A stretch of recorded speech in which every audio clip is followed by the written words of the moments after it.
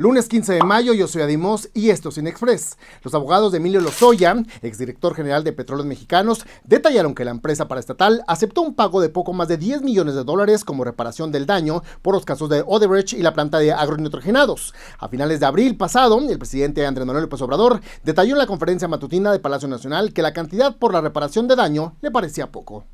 La frontera sur de México, límite con Guatemala, se encuentra sin reforzamiento de seguridad y permite la entrada de miles de migrantes que se integran al río Suchiate. Las personas provenientes del centro y Sudamérica cruzan de manera irregular por balsas hechas con llantas de tractor y madera. En tanto, las autoridades migratorias mexicanas destinan esfuerzos para detener a quienes logren burlar ciertos puntos de control. El presidente de Estados Unidos, Joe Biden, pedirá esta semana a los líderes del G7 que impongan un veto casi total a las exportaciones hacia Rusia, esto con el propósito de eliminar los requisitos legales que han permitido al Kremlin seguir accediendo a ciertos productos a través de terceros países. El veto excluiría áreas como agricultura, alimentos y materiales médicos con el fin de no perjudicar a la población.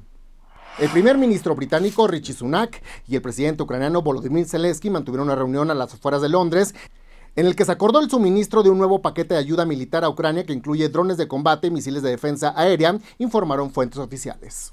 Guardianes de la Galaxia Volumen 3 se mantuvo a la cabeza de la taquilla durante el fin de semana en Estados Unidos al captar 60.5 millones de dólares, llevando un total global de 528.8 millones. Y en segundo lugar quedó Super Mario Bros. con 13 millones de dólares en su sexto fin de semana. La película que se exhibe en 3.800 cines de Estados Unidos lleva un total global de 1.200 millones.